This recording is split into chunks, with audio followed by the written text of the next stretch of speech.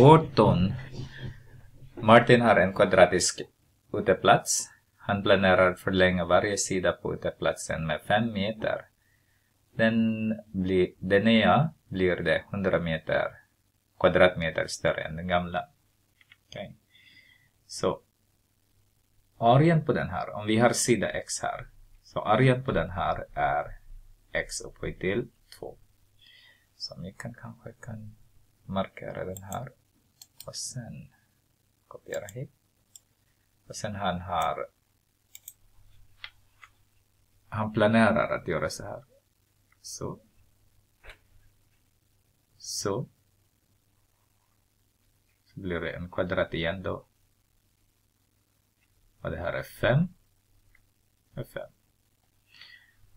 Och arean på den här blir det, om det här är fortfarande x, så har vi x plus 5 kvadrat. Och den här arean på den här, arean på den här, är större än då, är, blir det 100 mer av det gamla. Så, det här är gamla. Alltså den mindre. Kommer det igen? Okej, okay. och då har vi den här då. Eh, vi kan lösa den så har vi x upphöjt till 2 plus 2 gånger 5x skriver jag så att ni ser. Plus 25 är lika med 100 plus x upphöjt till 2.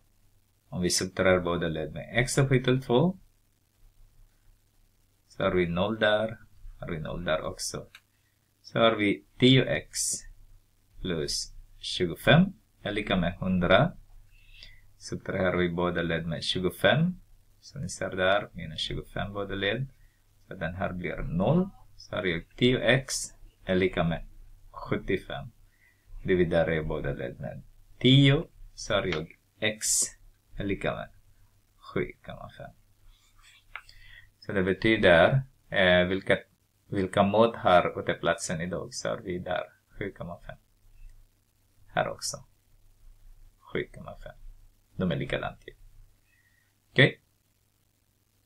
Så skriver man så här i vardagssätt.